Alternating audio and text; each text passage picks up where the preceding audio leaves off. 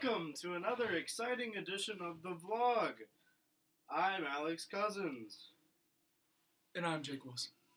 and today's exciting topic is Harold Clurman. Golly.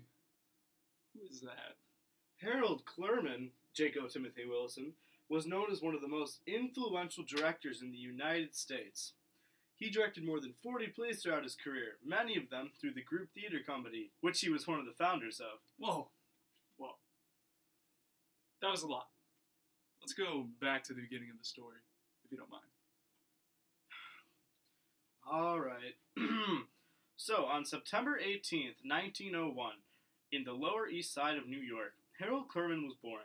He was the son of Jewish parents named Samuel and Bertha Clurman. His first experience in the theater was at the age of six, where his parents took him to see a Yiddish production of the plays Uriel Acosta and Nathan the Wise. Now, active Jacob Adler's performances in these productions really inspired Clurman, even at a young age, and even though he didn't know Yiddish. Wow. It's pretty fascinating. What else did he do? Well, he also attended Columbia University, not when he was six, after that. And then at age 20, he moved to France and studied at the University of Paris. There he got dis- inspired by the work of director Jacques Copeau, and even was his translator and assistant for a production of the brothers Karamazov.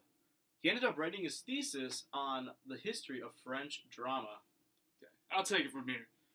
Clurman started out his career after school as an actor.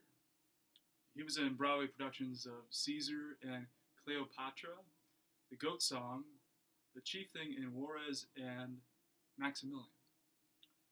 However, he felt that the American theater wasn't giving him what he wanted. He wanted more out of his work. He said, I'm interested in what the theater was going to say. The theater must say something. It must relate to society. It must relate to the world we live in. oh, uh, uh, he was tired of all the frivolous works being performed on the American stage and sought to make theater more current with societal, societal issues of the day. To accomplish this, he and his two like minded colleagues, Lee Strasberg, often considered the father of method acting, and producer director Cheryl Crawford, formed what would be known as the group theater. Indeed, the purpose of this group theater was to be a base for the type of theater they believed in a forceful, naturalistic, and highly disciplined artistry. The idea of calling it a group came from the idea that everyone was involved three founders, the actors, directors, and producers. They were all in an ensemble united towards one specific goal. This was one thing that Clurman specifically aimed for in all his work. Clurman said, A real theater, in my view, is not simply a production unit. It is a group of individuals who work in common towards a goal which becomes more articulate and representative, and characteristic of the community feeling as it develops. It isn't just an eclectic body of people who chose any script they happen to fall upon at the time, but a group with a point of view that has social and aesthetic connotations, a point of view that they share, and hope to make the audience share as well. Yeah. So, yeah, sheesh. How about you put that in simpler terms for me? Um, I, I, I mean the audience, the viewers.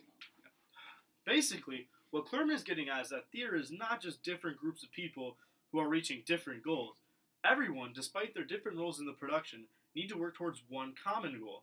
For example, in a modern musical, you would have the actors, the orchestra, the lighting crew, sound crew, director, writer, lyricist, etc., mm-hmm. who all have different responsibilities, but they all work together to create, to create one piece of theater. Clurman is often thought of to be one of the first to introduce this idea of collaboration, total collaboration in theater. Yeah. So one big happy family, huh? Sure, in a sense. Well, I found other stuff about Clurman. In this group, he taught lectures and had discussions with other members about creating a permanent theatrical company so that they could produce plays that dealt with more important modern issues. He did this with 28 other members, and some of these members actually included Stella Adler, Lee Strasberg, and Sanford Meisner. His style of theater ended up heavily influencing American productions, and his shows included elements of realism that were based off of American stories. Uh, that he introduced political topics in his plays, and he also included Stan. Can you say this for me? Stanislavski. Is that how you pronounce it? Yes, Okay, Thank you, Alex Cousins.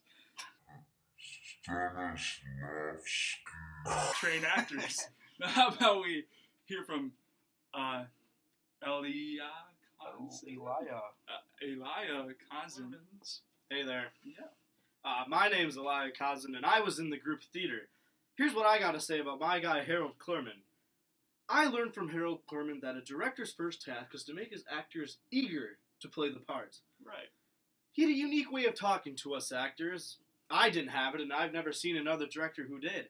He turned them on with his intellect, his analysis, and his insights, but also by his high spirits. Harold's work was joyous. He didn't hector his actors from an authoritarian position. He was a partner, not an overlord, in the struggle of production. He revealed to each actor the onset, at the onset, a concept of his or her performance, one the actor could not have anticipated and could not have found on his own. Harold's visions were brilliant. Actors were eager to realize them. They were also full of compassion for the characters' dilemmas, their failings, and their aspirations. So it seems like Clurman really cared about the enjoyment and passion of acting. Oh, absolutely. Approach to acting includes demanding the human being within the character, uh, according to Clurman. Um, even Uta Hagen, a famous actress, learned from Clurman. Uta, care to tell us? in 1947, I worked in a play under the direction of Harold Clurman. He opened a new world in the professional theater for me. He took away my tricks. He imposed no line readings, no gestures, no positions on the actors. And at first I floundered badly, because for my many years I have been accustomed to using specific outer directions uh, as the material from which to construct the mask for my character. But Mr. Clurman demanded I get rid of my mask. He demanded me in the role. My love of acting was slowly reawakened as I began to deal with a strange new technique of evolving a character. I was not allowed to begin with, or concern myself at any time with a preconceived form. I was assured that a form would result from the work we were doing. Basically, that reinforces what we were saying earlier. Uh, Clurman wasn't a fan of purely transforming into other characters.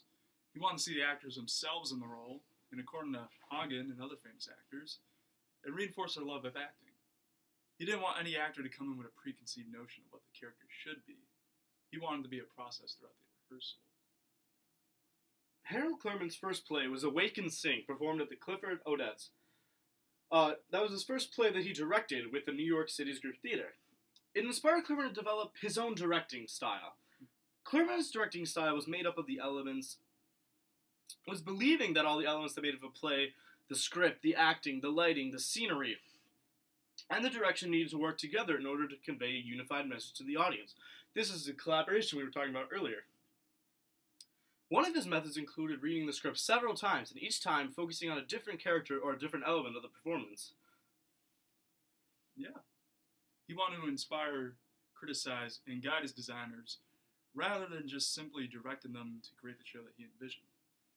He borrowed from Richard Boleslavsky's technique Yes. of identifying the main action or super, Super objective, objective. of each character, and then using those to decide what is the main action or point of the play. He wanted his actors to find active or action verbs that describe what their characters are trying to accomplish in each scene. He also believed that the Stanislavski. System. Stanislavski's. system of acting, which his method is based on the concept of emotional memory, for which an actor focuses internally to portray a character's emotions on stage. He felt like this method, this acting technique, was worth knowing and studying, but he deemed it too time consuming to use it full time. True. Clurman liked to refer to the director as the author of the stage. Yeah, that's that's, that's great to know, Alex. Um, Thank you. Uh, Clurman has um, several famous students and associates through the group theater, including uh, Morris Carnovsky, Clifford Odets, Sanford Meisner, Elia Ponzan. Yeah, that's her. Yeah, we just saw her in the studio. It's a him. Oh, oh, him? Yeah, him. Yeah, yeah, him. Harry Morgan, uh, Robert Lewis, Canada Lee, Frances Farmer, Howard Day Silva. Did I get that right? Da Silva. Da, da Silva. Howard Da Silva. Silva. Da Silva. Sidney Lumet, John Randolph, and many other famous actors. And Uta Hagen. Oh yeah, Ah, uh, that, he really has had a great influence on the collaboration of theater and how to uh, how to approach acting. yeah. He, then went on. to, yes, he went on to get two Tony nominations. Two. Two of them, yeah. It's pretty great. And, and it was both in 1956 and 1957 for. He also married Stella Adler, the daughter of Jacob Adler, the man who inspired him when he was just six years old. He also was a drama critic throughout his career, and he passed away on September 9th, 1980, at the age of 78. Hard. You know, um, Mr. Harold.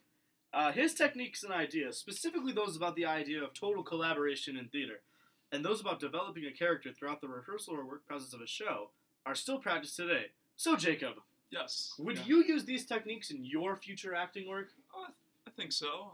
Um, Clurman's ideas of bringing yourself into whatever part you play and not having a mask are ideas I'll definitely carry with me throughout my acting career. I know. Additionally, Harold Clurman's work on super objectives is something we both studied in Acting 1 with. Me? No. Oh, oh, oh no, Derek. Derek, Derek McNish. And I feel like we can both benefit from what Harold, Harold Clurman taught us about being passionate about acting. Yeah. Yeah, I think I can agree with that. I think we both can agree Yeah. with that. And now for your pleasure and amusement. Actually, not amusement. But I feel like this video of Harold Clurman really demonstrates what he was all about and really shows what a good guy and great mentor he was. But the reason the theater is mediocre, and has been for a long time, is the state of our world, the state of our country. It's mediocre. It's afraid to move this way or that way. I know I'm right. I may not know the theater, but I know the country. it is afraid to move. It is afraid to progress. It is afraid to be enthusiastic. It's afraid to be wrong. It's afraid to move on. It's afraid to have enthusiasm. It's afraid to take a chance. It's afraid to have, to have courage. This always makes me angry. Because life is a losing game, and you might as well enjoy it. After all, they say you're going to die. Once in a while, it occurs even to me. So it's a losing game. But what an adventure! What fun this flop is!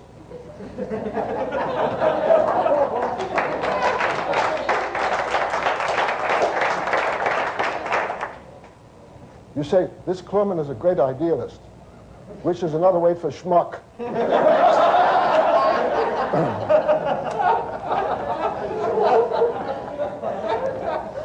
but I tell you, I'm not an idealist.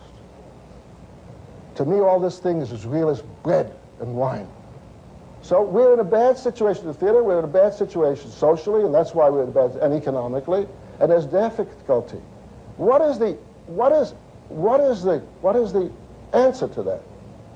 The answer is to go ahead and do your darndest to do the things that you think are proper to do any way you know how to do them.